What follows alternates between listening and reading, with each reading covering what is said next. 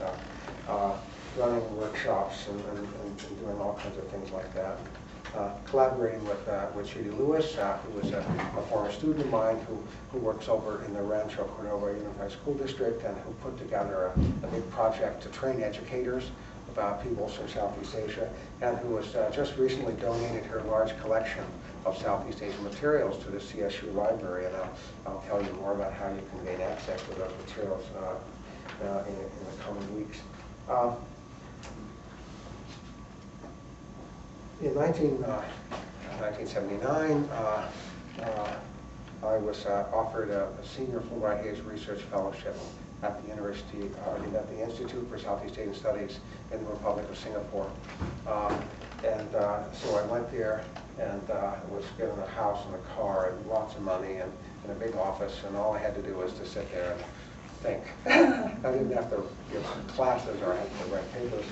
Uh, and I was thinking, ah, Southeast Asia, jungle, nature life and stuff. And I went to Singapore, which is no jungle, no nature life, the most fast, modern city in the world, okay? So leaving Sacramento in 1979 going to Singapore was like leaving rural Mexico and going to Bonn or something. Uh, it was a very fast, modern place, much cleaner, much better run than anything I had experienced here in the United States. And I found myself working more than I'd ever worked before because I was involved in doing a study of varieties of Chinese medicine uh, in Singapore uh, and uh, Malay medicine and other things. And, and, and in the story that I'll tell you later when we talk about Singapore, uh, people assume that I was somehow working for the Minister of Health and and so everybody wanted me to come and visit their clinic and see their training program, and, and so I was, I worked and worked and worked and worked. And it was a really busy year. Uh, when I came back uh, from from there, uh, uh I, I rejoined my relationship with the psychiatry department in Davis, began teaching here again at Sac State. Uh, and soon after that, I got sucked up in Chancellor Reynolds' plan to, to change the curriculum, and out of that came the foundation of a the Asian Studies program here at the university, and that took forever to try to put together an Asian Studies program on a campus where people really didn't know much further than places like Stockton or Davis in terms of foreign things. Okay, so that was a major battle at that point. The university is a very different kind of place now with faculty who come from those faraway places and, and make it a much more interesting place. But back in those days, people from Sacramento seem to, at state, mostly seemed to have come from Iowa. and, uh, and, and, so, and so convincing them that there was something worth about doing this. Uh, in 19, uh, all, all through the course of all this, and I, I, I, work on my Borneo studies, and I, and I write papers and, and, and publish them and go to conferences and stuff. I'm a fellow of the Borneo Research Council and of the Royal Ethnological Institute, involved in these sorts of things. Uh, but uh, but I really wanted to go back to Borneo. I, missed I missed uh, my my Lundaya and, and, and, the things there. So finally, in 1992, uh, I, I, I did a grant from the university to go to Borneo to to establish a Highland Research Institute and. Uh, Turns out that that Highland Research Institute was not going to fly, at least from the point of the Malaysian government, uh, too close to the border and uh, too sensitive from their perspective to have a bunch of Western scholars wandering around looking at plants and people's armpits and things. Uh, and so, uh, but while I was there, uh, the Lundaya uh, uh, up in the northern part of Sarawak invited me to come up and and talk, and, and, and they said that, you know, we remember your visit, and people talk about you, and, and we face this problem, our language and our, our, our oral literature is, is, is, is eroding, and, and we fear to lose it, and, uh, and we'd like to write a dictionary of the language, but the people cannot agree to work with one another. Have old animosities from the headhunting days and other sorts of, uh, things, uh, slavery and the like. Uh, but he said they'll all work with you so could you help us do that? And so, you know, you know, if you give, then you have to, if you take, you have to give, okay? Uh, Southeast Asia is all about reciprocity. And so I said, well, okay, I, I will do that.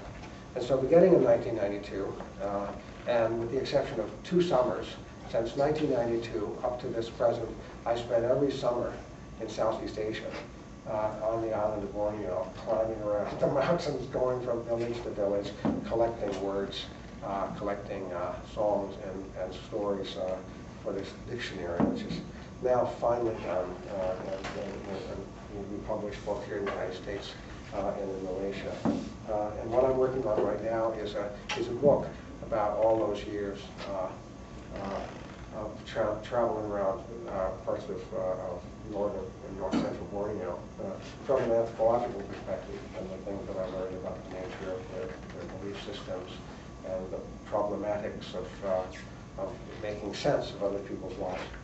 Uh, anyway, that's the bias that I bring to this course. That is, this is the, those are the nature of my contacts. Uh, I've traveled all over Indonesia and, uh, and, and, all over Malaya and, and all over Borneo, but I've never been to Burma or to Thailand or to Vietnam uh, or to Cambodia or to East Timor or to the Philippines in that sense. So most of those places I know about only from reading the works of other scholars who've, who've been there.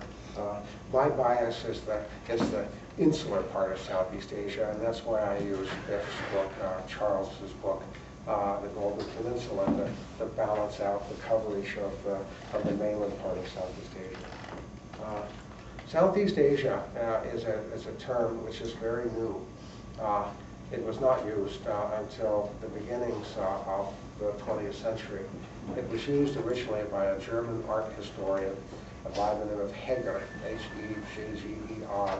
Uh, Heger was working uh, uh, in analyzing the material from an archaeological site uh, in the plain of the Black River uh, in what is today the northern part of the Republic of Vietnam, Democratic Republic of Vietnam. Uh, he was trying to make sense of this place, of how the people lived in this place, and he noted the discrepancy between the presence of house posts, which suggested the people built their houses up off the ground on posts, which is the, the pattern for most people in Southeast Asia, and the fact that they also had elaborately decorated bronze drums or gongs, which was a uh, looked like things found in uh, further to the north in China. So he decided to say that this is a, a, culture somewhere between one and the other, and he came up with the term Sudest Asia, or Southeast Asia. Uh, nobody knew this term, and other terms were used to describe the region by other scholars. Americans sometimes called it the Pacific Far East or the Far Eastern Tropics. Uh, or monsoon Asia, the part of Asia where there are monsoon winds. Sometimes it was referred to as further India because of the architectural uh, use of Indian uh, styles of sculpture and uh, the influence of Hinduism and Buddhist philosophy in parts of lowland Southeast Asia. Uh, but, uh, but one Englishman knew of this, and it was a man from the royal family by the name of Lord Mountbatten. Lord Mountbatten, uh, whose grandfather was the Kaiser Wilhelm of Germany, okay, loved all things German. And when Britain and Germany went to war, ultimately it was decided to use Mountbatten, who served in the Royal Navy, best against the Japanese. So they didn't think he liked the Japanese like he liked the Germans. He ultimately took over command of, uh, of part of the war effort against Japan uh, in, in the Pacific region uh, from a headquarters that he established in Colombo on the island of Ceylon, what is now the country of Sri Lanka. Okay? Uh, in the war effort against Japan, the plan was to divide it up into theaters of war, theaters of action, and there was a North Pacific uh, region under Admiral Kimball, a Central Pacific region under Admiral Chester Nimitz, a Southwestern region under the command of General MacArthur, a uh, uh, an East region, East Asian region under the command of General Stilwell, who was an advisor to uh, the nationalist forces of Chiang Kai-shek.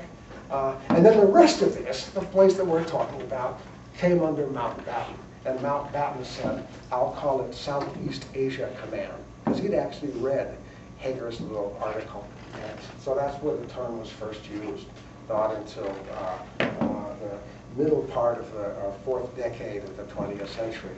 Southeast Asia has caught on now, and, and, everybody uses it, including people who live in Southeast Asia, who describe their, uh, their regional association as the Association of Southeast Asian Nations, or ASEAN. If you read the word and it has no